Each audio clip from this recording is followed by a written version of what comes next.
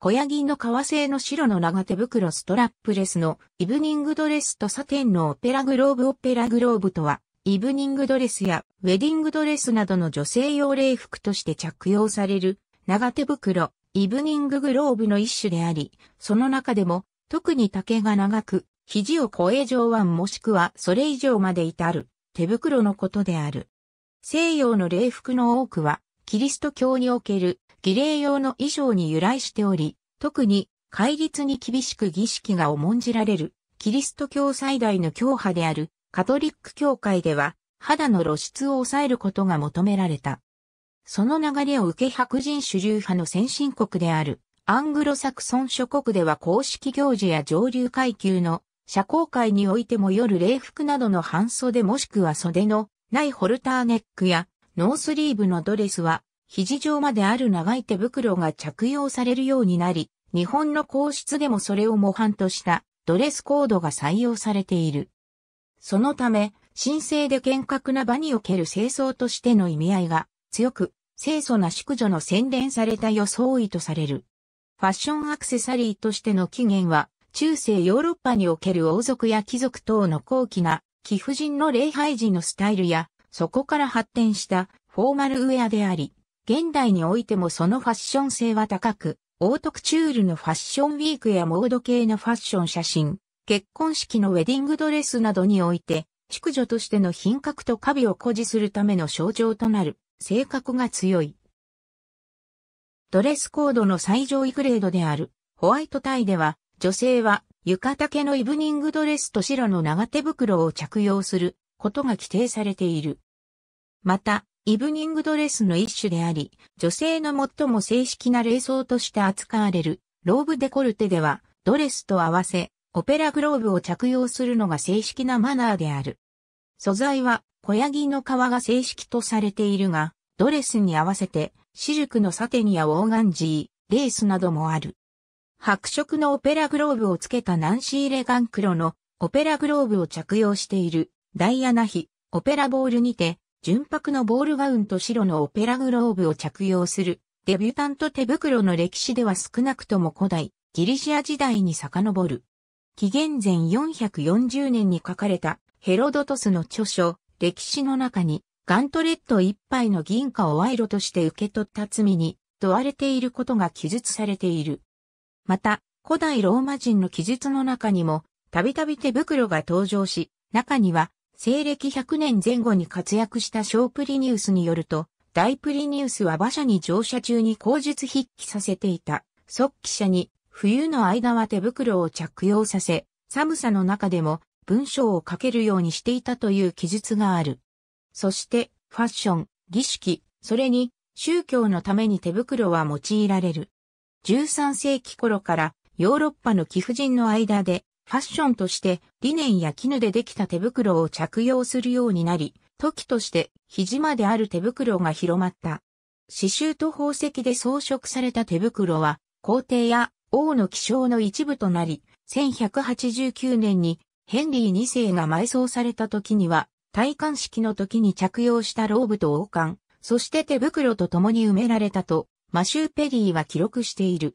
1797年にイングランド王のジョンの墓を開いたとき、それに1774年にエドワード一世の墓を開いた時にも手袋が発見されている。宗教においても、祭服としての手袋は、主に教皇や枢機卿、僧侶たちが着用し、教義により、ミサを祝う時のみ着用を許されている。この習慣は10世紀に遡り、儀式の際に手をきれいにしておきたいという単純な欲求が始まりかもしれないが、特権階級として豊かになった聖職者たちが己の身を飾るためにつけたことが始まりとも考えられる。そして、フランク王国からローマにこの習慣は広まり、11世紀の前半にはローマでも一般的になった。英国では1690年代のメアリー女王の現存する彫刻には肘の長さの手袋を着用していることが示されている。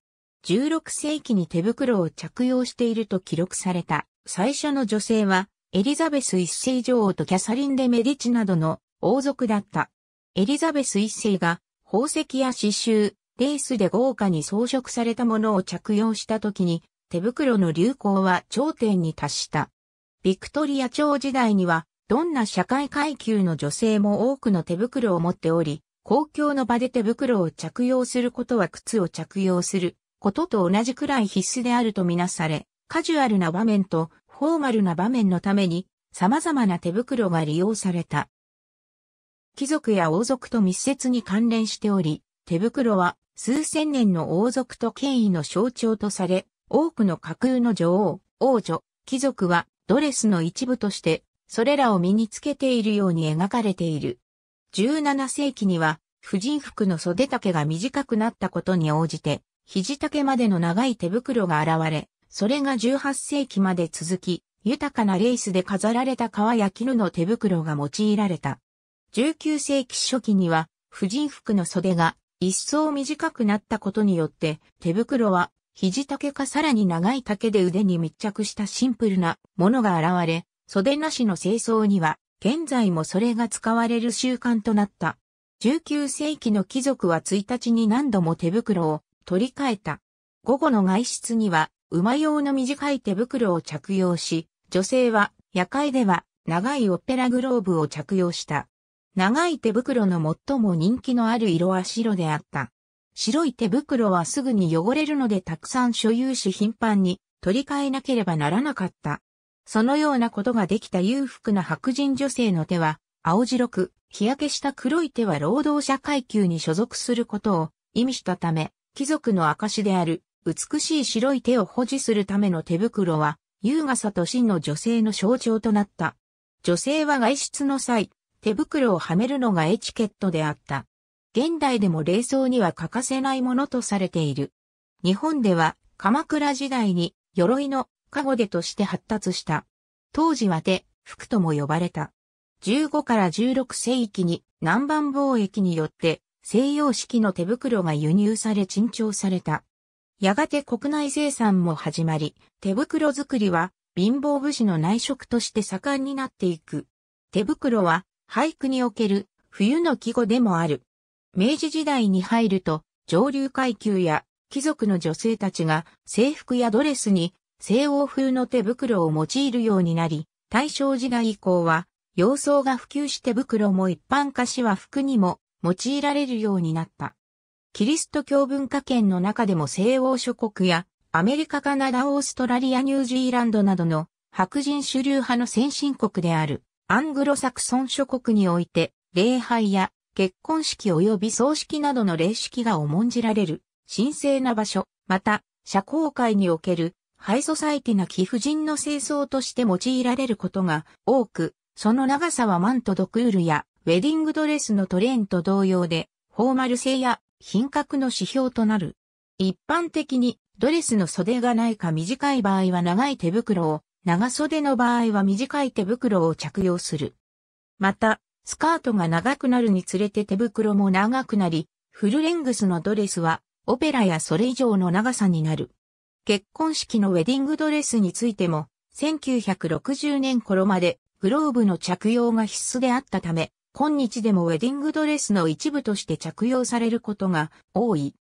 英国では、イブニングドレスの最高齢層とされるローブデコルテには、オペラグローブを合わせて清楚な装いに仕上げる。ダイアナ妃が1985年にアメリカを訪れた際に披露された黒のローブデコルテとオペラグローブのルックスが話題となった。由緒正しい清掃として着用されるため派手な色合いのものは少なく、シックな色合いのものが多い。なお、グローブの色や質感はドレスと合わせることを基本とする。ドレスの袖と同じ色のグローブは腕を細長く見せる効果があり、対照的な色は逆効果である。オーストリアのウィーン国立歌劇場で行われるヨーロッパで最も格式高いダンスパーティーの一つであるオーパンバルと呼ばれる上流階級や貴族の若き女性が集う舞踏会では服装は純白のボールガウンと合わせ白のオペラグローブの着用が義務付けられており、欧米諸国に多数存在する、その他のデビュータントボールにおいてもそのドレスコードが順用され、手袋のないデビュータントはデビュータントではないと言われるほど白の長手袋は重要なアイテムとなっている。何世紀にもわたってデビュータントのスタイルとファッションは変化してきた。しかし、初期のイギリスから現代のアメリカのデビュータントまでずっと変わらないアイテムは、白革製の肘状までのデビュータント手袋の着用であった。そのためデビュータントグローブは1世紀以上にわたって上流階級の女性らしさの最も重要なシンボルの一つとして認識されてきた。日本では女性皇族は常に白の手袋を携帯しているが、これは帽子とともにその貴族性を象徴するためのものである。令和元年に行われた即位後朝見の儀において、皇后雅子によって着用されたことで注目を浴びた。旧皇族の武田久志康氏は、著書、日本の礼儀作法三宅の教えにおいて、皇室の晩餐会や儀式などの特別に改まった場面において、ローブデコルテと合わせて、オペラグローブを着用し、ティアラをつけることを基本としており、宮中ではこれを女性の最上級礼装としている、との旨を示している。皇太子成人親王成婚の際、皇太子妃、雅子のローブデコルテを手掛けたファッションデザイナーの森花江は、ローブデコルテは勲章をつけるためのドレスであり、肌を出し、革の長い手袋を合わせる清掃と述べている。また、一般の結婚式においてもウェディングドレスと合わせて着用されることが多く、ドレスの袖がないか短い場合は長い手袋を、長袖の場合は短い手袋を着用する。グローブの色は、ドレスの色を乱さないよう白色が標準である。肌を隠す純白のグローブには清楚、無垢という意味も込められ、特に伝統あるチャペルでの挙式では必須とされており、手袋丈が長ければ長いほど、格式の高いフォーマルなウェディングスタイルとされている。防寒用の手袋は室内に入り、アウターを脱ぐとき同時に外すことがマナーであるが、オペラグローブはその限りではない。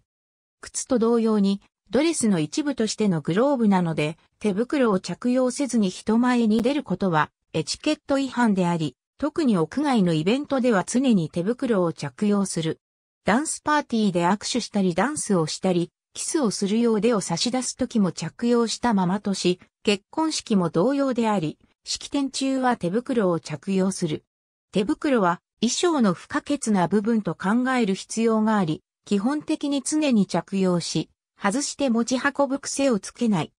ただし、食事、飲酒、喫煙、トランプ、化粧をするとき、及び結婚式の指輪交換の時は外す。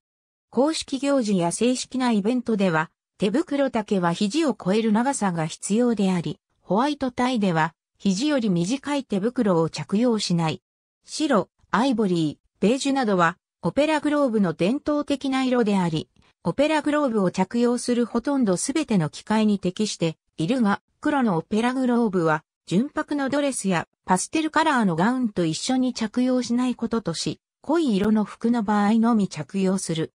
ウェディングドレスについては、ドレス及びその付属するアクセサリーなどが白色を基調としているため、グローブの色もドレスの色を乱さないよう白色が標準である。手袋の上からブレスレットを装着することもあるが、指輪はつけない。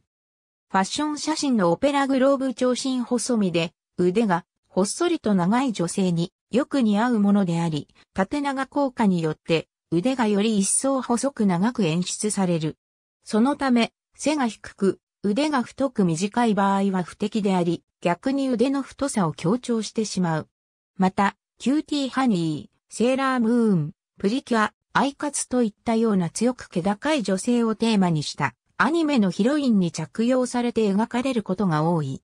さらに、黒革のオペラグローブは一本鞭やブーツなどとともに厳格な女性のシンボルとなることもある。